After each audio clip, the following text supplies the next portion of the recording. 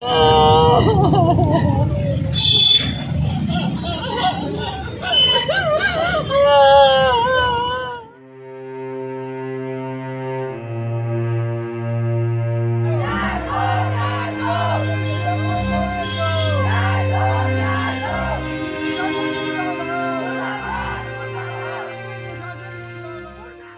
हम लोग एक महीने हम लोग एक महीने एक सप्ताह से यहाँ की गुहार लगा रहे हैं। कोई सुनवाई नहीं। कोई सुनवाई नहीं हो रही है। 31 दिसंबर को खगौल रोड पर हुई पुलिस के गश्ती वाहन व बाइक के टक्कर में हुए अमित एवं शिवम मंडल के मौत मामले में दोषियों के विरुद्ध हिट एडन रन के तहत कार्रवाई व दोषियों को बर्खास्त करने की मांग को लेकर लोगों ने कैंडल मार्च निकाला।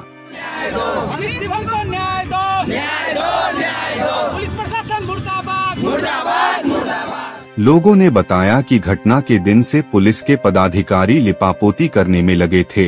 यह दुर्घटना नहीं बल्कि इरादतन हत्या है। दोषियों को सस्पेंड नहीं बल्कि स्थायी रूप से बर्खास्त किया जाए। पुलिस प्रशासन के विरुद्ध नारेबाजी करते हुए मार्च में शामिल रहे। कैंडल मार्च में मृतक अमित के पिता अरुण शर्मा व शिवम मंडल की माँ नमिता सरकार के अलावे स्वजन व स्थानीय लोग शामिल थे।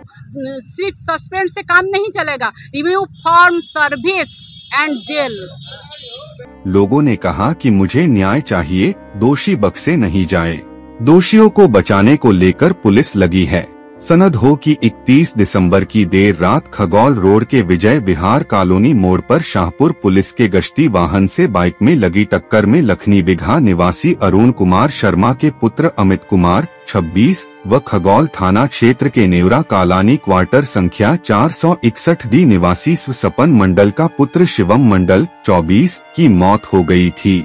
करीब महीना भर बाद मृतक के स्वजनों के प्रयास के बाद मामले में दारोगा वरुण कुमार सिंह समेत चार पुलिस कर्मी एवं एक चालक के विरुद्ध मामला दर्ज किया गया था।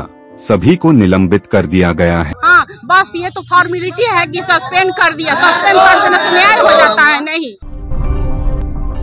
आप देख रहे हैं वोकल फॉर लोकल। आपकी आवाज़ है हम।